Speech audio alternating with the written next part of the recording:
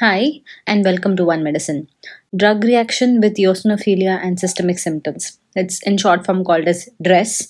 It's one of the drug reactions, and uh, we'll be talking about that today. So, this DRESS or drug reaction with eosinophilia and systemic symptoms is characterized by cutaneous features, namely a rash and systemic upset with hematological and solid organ disturbances. So, there'll be cutaneous uh, lesions, will be you see a rash here. Uh, okay, and it's a drug reaction most commonly and uh, associated with systemic upset and hematological as well as solid organ disturbances are seen. So it's it's a, it's a multi-system disease here, and um, earlier it was called as drug-induced pseudo lymphoma, or it is also called as anticonvulsant hypersensitivity syndrome, since anticonvulsants are more commonly implicated in any drug reactions. It's also called as drug-induced hypersensitivity syndrome that is in short form called as DIHS because of the drug hypersensitivity which is there. Or it was also called as drug induced delayed multi-organ hypersensitivity syndrome which is in short form called as drug induced delayed multi-organ hypersensitivity syndrome. Okay it's also called as DIDMOS so those were the names by which it was called. It was first described by Bocquet in the year 1996 it's an idiosyncratic multi-system drug hypersensitivity disorder. That is multi many systems are involved here but it's a drug hypersensitivity disorder and hematologic disturbances uh, as we told is accompanied here. And uh, most common hematologic disturbance is the eosinophilia which is present okay other uh, hemat manifestations like leukocytosis, lymphopenia, lymphocytosis, thrombocytopenia, and thrombocytosis also can be present. On the peripheral blood smear, we see atypical lymphocytes. So that's one of the hallmarks of the DRESS reaction. Lymphadenopathy, solid organ involvement, mostly the liver is involved here, and other organs like uh, kidneys, lungs, intestines, uh, myocardial tissue, pericardial tissue, splenic, pancreatic, thyroid, CNS involvement also can be there fever is seen here and um, it is not related to the dose or to the serum concentration of the drug not to the dose or a serum concentration of the drug. So epidemiology 1 in 1000 to 1 in 10000 people are affected. Mean age is around 40 so middle age people are affected. Females are more prone to getting this. And there are certain HLA alleles which are more susceptible uh, to having uh, DRESS okay? So we have HLA B 1502 and B3101 uh, they will be uh, hypersensitive to carbamazepine intake. And HLA-B 5801 uh, will be more susceptible to allopurinol intake okay? So in these people we can uh, say that they are more prone to getting uh, DRESS for that particular drug Pathophysiology, the precise pathogenesis is still not fully understood. Uh, there are certain alterations in the metabolism of particular drugs which help in triggering uh, DRESS. Uh, certain genetic polymorphisms also will affect the detoxification of uh, certain drugs like sulfonamides and anticonvulsants. So these genetic polymorphisms will again determine which uh, individual will get DRESS. Okay, immune mechanisms are also involved here. As I told you before, HLA alleles are associated. Interleukin 5 is said to play a part, and uh, in these particular uh, individuals specific drug specific T cells would be present in the skin as well as in the internal organs. Most common etiology would be drug exposure. DRESS would be caused by a drug here. HLA allele association would be present and genetic polymorphisms. Uh, there are certain polymorphisms in the genes which will encode how a drug is metabolized inside the body. So polymorphisms in gene encoding drug metabolizing enzymes may result in drug accumulation or its active metabolite will get accumulated and that will have more chances of um, hypersensitivity reactions. Uh, for example, uh, in genetic polymorphism, we have CYP 2C9 polymorphisms. They will have phenytoin-induced adverse drug reaction. DRESS is also said to be a T cell mediated hypersensitivity reaction. Drug specific T cells are found here. There are two main pathogenesis which will explain uh, the drug uh, DRESS reaction. Uh, one is there is drug specific immune response which is seen. So basically, when a drug is taken, there will be a specific type of T cells which are activated and they will cause the reactions. Okay. Second thing is HHV, that is human herpes virus will be reactivated okay with, with antiviral immune responses. So that uh, these are the two mechanisms of uh, DRESS. In drug specific immune responses it was proven by the patch testing in vitro demonstration of specific CD4 and CD8 plus T cells uh, were found, which will produce uh, TNF, that is tumor necrosis factor and interferons uh, were produced. In the acute phase, there was expansion of the T cell subtypes. Even regulatory T cells were said to play a role. JAK-STAT pathway also said to play a role. So in drug-specific immune responses, because of certain drugs, there will be certain immune cells which will be activated, which will cause the reactions. Then reactivation of human herpes viruses. In 75% cases, there was reactivation of uh, viruses, that is HHV6, 7, cytomegalovirus, and Epstein-Barr virus. HHV6 reactivation is the most common cause for causing DRESS. Viral reactivation will occur because of the immunodeficiency state in the person. So, in immunodeficient individuals, they are again more prone for DRESS. In the acute phase, regulatory T cells were increased, but decreased B cells and immunoglobulins were there that led to viral reactivation. Certain drugs will cause the reactivation of human herpes virus 6 and cytomegalovirus also. Again, this reactivation of viruses was said to cause DRESS. So here is the interaction of genetic predisposition, the imbalance in bioactivation and detoxification of drugs, HHV6 co-infection and slow acetylation. All of that will cause uh, oxidative metabolism of sulfonamides by CYP450, increased hydroxylamine metabolites toxic to lymphocytes and uh, DRESS. Okay, so these are the, there are multiple mechanisms through which DRESS occurs. Certain predisposing factors are uh, drugs, most importantly, and if the patient has coexisting neurological or rheumatological disease, HIV co-infection, and genetic polymorphisms uh, involving interleukin 1 and 10 most common drugs which cause DRESS are your uh, you can remember it also as 5 A's uh, which will cause I'll explain that. So we have allopurinol anti-epileptics like carbamazepine phenytoin lamotrigine antibiotics like vancomycin amoxicillin um, minocycline piperacillin piperacillin and tazobactam. Sulfa drugs like sulfasalazine dapsone sulfadiazine furosemide omeprazole ibuprofen. So the 5 A's would be um, allopurinol, antibiotics, anticonvulsants, antiretroviral drugs. We have antifungal also, which is terbinafine, which can cause a drug reaction. Okay, so these are the five ways. In antibiotics, sulfonamides uh, and related, minocycline, nitrofurantoin. Anticonvulsants would be carbamazepine, lamotrigine, phenobarbital. Antiretroviral would be indinavir and nevirapine. Okay, so five ways. I'll write it here. Allopurinol, antibiotics antiviral. Antiviral is antiretroviral, that is indinavir and nevirapine. Then we have uh, antifungal terbinafine. Then we have anticonvulsant. Carbamazepine and phenytoin. So these are the five A's which causes drug reaction. Clinical features, non-specific symptoms in the early phase is seen.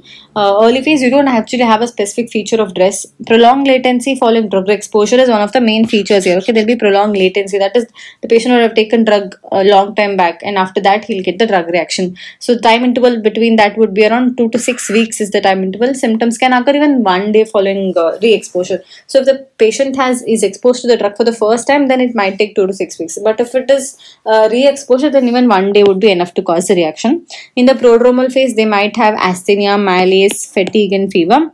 Rash with facial swelling, and was the first clinical feature that the patient would get is the rash with the swelling. The facial swelling would be present, and that would be the first clinical feature.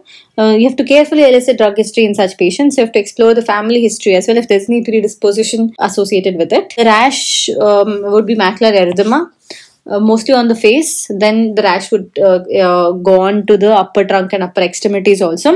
Along with rash, there would be also itching. That is, pruritus would be pruritus would be present. The fever would be present. That is around 30 to 40 degrees Celsius of fever with cervical lymphadenopathy, systemic upset, hematological abnormalities, and mucous membrane involvement is rare, not commonly seen. So this rash and the pruritus and the fever and the lymphadenopathy with systemic involvement and hematological involvement is what is uh, important here. Urticated papular exanthems is the most common finding that you see. So, urticaria-like papular exanthema would be present.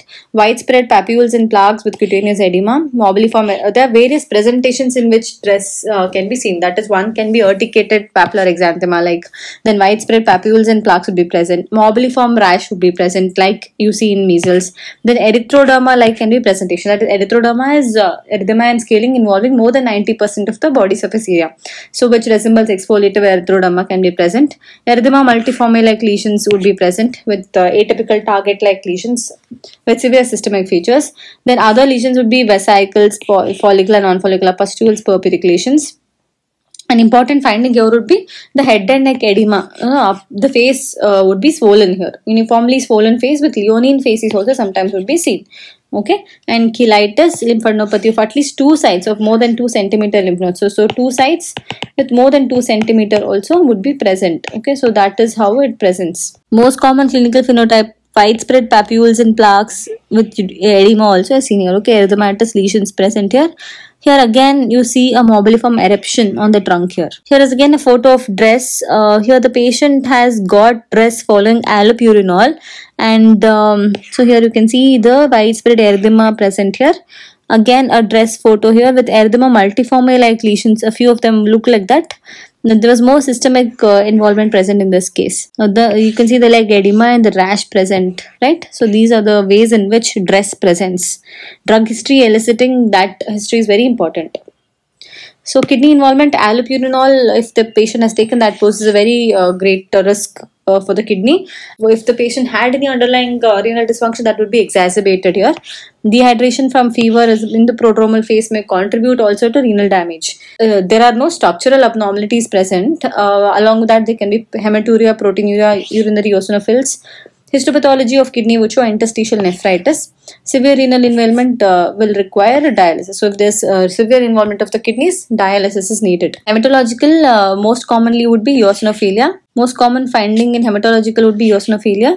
Uh, other than that, pancytopenia, all the cells would be reduced. Pronounced lymphocytosis. Atypical lymphocytes and peripheral smear would be seen.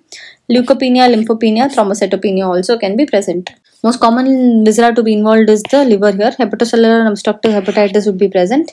Um, those are the manifestations, right? And uh, if the patient has taken uh, phenytoin, minocycline, and dapsone, then there's more propensity to get liver damage. It can vary from just a mild transient hepatitis to fulminant hepatic failure requiring transplantation also. Sometimes uh, it can also cause death. So such severe would be the uh, liver involvement. In the lungs, uh, they can cause cough, dyspnea, pleural effusion, pleuritis, acute interstitial pneumonitis. Renal uh, function, liver function testing has to be done, and even uh, PFT has to be done. CNS uh, headache, seizures, cranial nerve palsies, limbic encephalitis, aseptic meningitis are the various manifestations in which DRESS can present. In the later part of the DRESS, endocrine system would be involved. Most commonly, we have thyroid gland which is involved, right? Both hypo and hypothyroidism is seen. Sometimes pancreatic insufficiency, like we see in type 1 diabetes, would be present. Diabetes mellitus, secondary to corticosteroid therapy, also can be a presentation because for DRESS we have steroids and that can cause diabetes uh, SLE and alopecia areata are other things. In the gastrointestinal tract, bloody diarrhea is one manifestation, eosinophilic esophagitis and dysphagia would be present, difficulty in swallowing. Cardiac manifestations would be endocarditis, uh, pericarditis, myocarditis, chest pain, tachycardia, hypotension. There will be signs of pericardial effusion and pleural effusion. ECG will show T-wave abnormality, arrhythmias. Echocardiography will show pericardial effusion and reduced ejection fraction. Raised cardiac enzymes like creatine kinase, uh, MB fraction, troponin 1 would be present. Acute necrotizing eosinophilic myocarditis is one condition which is associated with high mortality. So, acute necrotizing eosinophilic myocarditis. The clinical variants would be we have mini dress and then we have overlap syndrome. This is overlap syndrome. And then we have mini dress. Mini dresses who do not meet the full diagnostic criteria but they have clear features of dress. They are called as people with mini dress uh, overlap syndrome is the patient has acute generalized exanthematous pustulosis with DRESS or SJSTN with DRESS. There will be overlap between these two conditions. All of them are drug reactions basically. So if there's overlap, that is called an overlap syndrome. So the diagnostic criteria would be, uh, it was given, the scoring system was uh, given by RegiSCAR for DRESS and the criteria involves um, fever, lymphadenopathy of more than two sides of more than one centimeter, circulating atypical lymphocytes in the peripheral smear, peripheral eosinophilia, skin involvement. Okay, uh, to the extent of more than 50% body surface area and cutaneous eruptions being present, biopsy which proves DRESS. Internal organs, one or more internal organs, resolution in more than 15 days, laboratory results which show ANA, blood cultures, uh, HIV, HBS, AG serology, chlamydia and mycoplasma serology. Uh, final score of less than 2 is no case, 2 to 3 is a possibility. If the score is 4 to 5, probable case. More than 5 if the score comes, then that's a definitive uh, case of uh, DRESS. So that uh, each score, it was given, the scoring for S, no and unknown or unclassifiable was given and then calculated in the end. There's another scoring system given by JSCAR diagnostic criteria for DRESS. And here maculopapular rash was important in more than 3 weeks of, after starting the therapy with a limited number of drugs. So more than 3 weeks because the latent period here is more. And prolonged clinical symptoms were present even after the discontinuation of the drug was one criteria. Fever more than 38 degrees, liver abnormality of raised ALT, leukocyte abnormalities like leukocytosis, atypical lymphocytes on peripheral smear, lymphadenopathy, and human herpes virus 6 reactivation. So these were the criteria given by J. Pathology in the epidermis we see spongiosis, basal cell vacuolar damage, and necrotic keratinocytes. As in any other uh, pathology, here also we see basal cell degeneration and necrotic keratinocytes present. In any drug reaction, you most commonly see this. In the dermis, the changes were superficial perivascular infiltrate. Around the vessels, there was inflammatory infiltrate present. Eosinophilic, mostly inflammatory infiltrate was present with lichenoid infiltrate also. Higher mortality was associated with erythema multiforme like changes in histopathology and severe liver dysfunction. Uh, we also had uh, in the pathology eczematous interface dermatitis, AGEP like and uh, erythema multiforme like uh, histopathological presentation also was present. So basically in the epidermis we saw spongiosis with basal cell vacuolar degeneration and necrotic keratinocytes and in the dermis we saw perivascular eosinophilic infiltrate. That was the most common presentation here.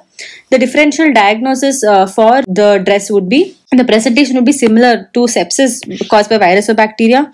If the pustules were present, they were like uh, in the AGEP, that is acute generalized exanthematous pustulosis. We have seen that in the major flexures there was a sheets of hundreds of non-follicular pustules present. Uh, but here we had acute onset, so that can present like that if it is an acute onset of uh, dress erythema multiforme. Because even here we see target-like lesions present. SJSTN, but the onset would be in seven to ten days. It was if if if, if it was SJSTN because in SJSTN also similar lesions would be seen sometimes. Okay, uh, apart from the blisters and erosions that we see, exfoliative erythroderma, which is seen in psoriasis, cutaneous lymphoma, and severe eczema. Systemic vasculitis can present like this. Angioimmunoblastic lymphoma, hypereosinophilic syndrome, lymphoma, and pseudolymphomas also can have similar presentation. The investigations to be done are the renal investigations like urea, creatinine, and calcium urine analysis, neurological investigations like microscopic culture sensitivity, CSF examination, and EEG, endocrine abnormalities like TSH, T3, T4 blood glucose evaluation. If the patient has any infective foci because of the fever, you can evaluate for blood cultures, mycoplasma serology, GI manifestations like amylase lipase evaluation, hepatic involvement like liver function test, lactate dehydrogenase, ferritin levels, hepatitis B, C serology, Epstein-Barr virus serology should be done. Cardiac manifestations like uh, electrocardiography, echocardiography, cardiac enzymes to be evaluated. Pulmonary manifestations like chest X-ray and PFTs, autoimmune evaluation with anti-nuclear antibody, extractable nuclear antigen, complement levels, and anti-neutrophilic cytoplasmic antibody evaluations can be done. So, do, by doing all of these investigations, we get to know whether it is uh, dress or if there's any other condition associated. Managing the case would be to identify the drug and uh, you have to exclude the culprit drug. That is one of the most important things to do in any drug reaction because nowadays there's this polypharmacy which is practiced. The patient will be taking hundreds of drugs. So the patient would be on many drugs. So if to identify which drug uh, would have more propensity to cause dress and avoid that drug. Full medical history both past and present needs to be taken. Supportive uh, uh, care is very important here.